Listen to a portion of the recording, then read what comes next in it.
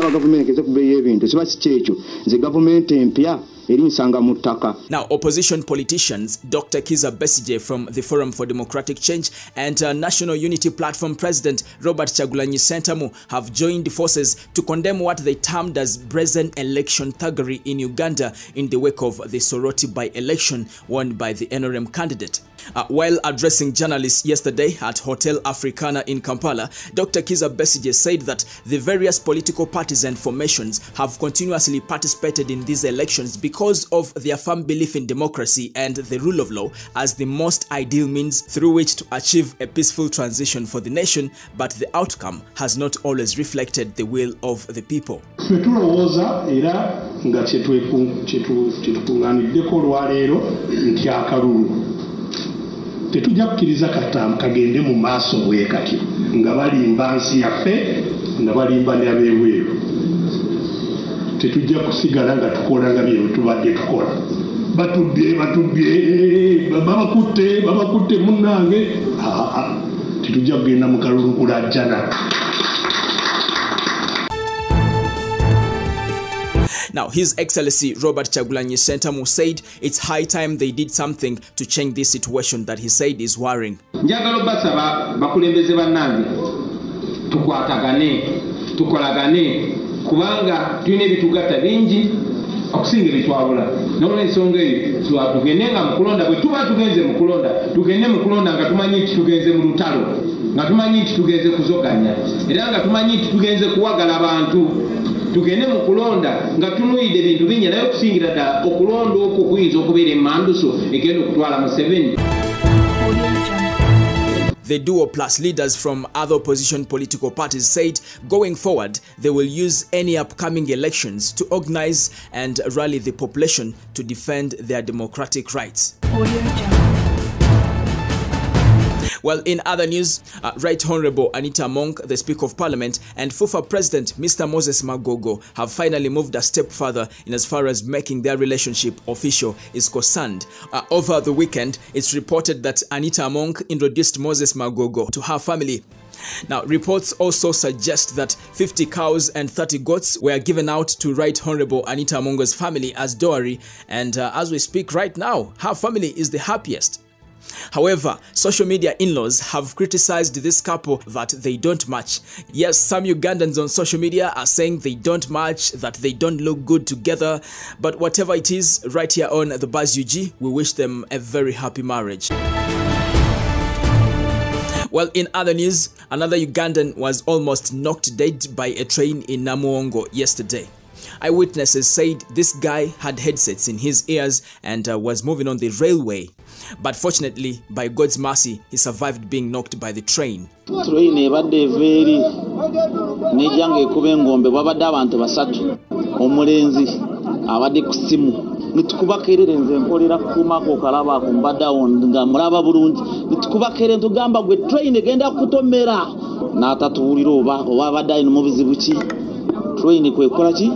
Kwe kusika ekibaaga kye okugulu nikusigala mabega nekulinya.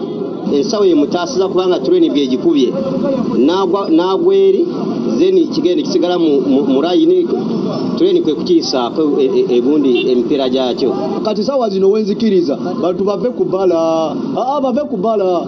Abantu baveewo ku train train bagirekere ekkubo lyayo mwana. Kuba tugenda kuggwawo ebyaddala. Kuba kati bo okitegeera ate bo bakikozesa tteeka lyabwe lyabwe bali Now, this guy would have been the third person to die in a train accident in a period of uh, just one month after losing a beautiful couple recently. Guys, I think we need to be very careful while we move near railways, otherwise, we're gonna die if we don't be very careful. Well, in other news, The high cost of living in Uganda is getting to another level. Some Ugandans have started committing suicide to avoid the tough times that we are facing right now. Now, the latest news coming in from Butambala district, a Boda Boda rider called Jackson Biekwaso, 30 years, set himself ablaze with his motorcycle because of the high cost of living right now in the country. najja mu kyalo ne mu kyalo embeera yagisinganye ate amafuta ge yasinganye mu kyalo. Liita y'amafuta bakitunda siringi mutwalo n'awunzika ng'agamba bw'ati ng'aga nti ebbeeyi y'amafuta esusse takyakola abantu be takyalina kyabaliisa. Ng'atandika okugenda mu bbaala ng'agenda agaba ebintu ng'agamba abantu ngenda nze kwetta Ii, ng'abantu bamanyi byakusaaga n'atambula n'agenda ng'agamba abantu ndese abaana bange basatu ngenda kwetta. Era bwe yamulemeredde mu kibuga n'akomawo nga talina bw'atandikira. Bbeeyi y'amafuta yalinnya buli kimu kiri waggulu nga talina kyalabirira talina kyalabiriza famire ye. Kwegamba n'asalawo yejje mu bulamu bw'ensi. N'agulawo amafuta ku dduuka ery'omutuuze munnaffe na- n'asimbula piki n'atambula n'agenda twagenze omusanga bagenze abatuuze badde bayitawo ne bamusanga nga agalamidde wano piki eriko eri mu kumubumbuja yeesibyeko amiguwa n'amafuta naye gavumenti erijja yo erimusanga mu ttaka Uh, leaders in Butampala district have blamed government for all these suicide cases that are happening in the country. They said it's high time government steps in on the issue of uh, commodity and fuel prices. Otherwise, we are still losing more people in that manner. ebbeeyi y'amafuta eyitiridde obungi ate abavubuka piki babawaza ne bazibawera ku miliyoni mwenda obanga aguze emmotoka ate nojja nonoonya abasaabaze nga tobalaba lita y'amafuta tosobola na kuva yadde mbula okutuuka eŋŋando Now, the spokesperson of Uganda Police, Mr. Fred Enanga, says they are still investigating what could have caused Jackson to take his life in such a manner. chairman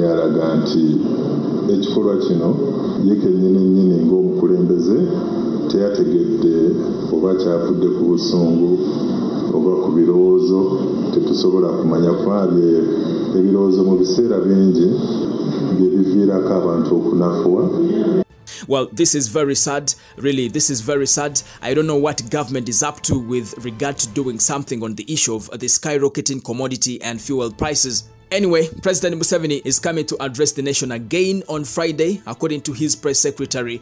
And personally, I think these are things that he's supposed to be talking about other than coming on TV and he talks about the long-term solutions of the problems that we are facing right now as a country. All right, there you go. Those are some of uh, the big stories that I have for you this morning on uh, the Buzz UG. And uh, in case you have anything on your mind, just put it down in the comment section. And also don't forget to subscribe in case you haven't, and also tap on the bell for all the notifications. As usual, my name is Malads Milo, aka Fuller. Thank you.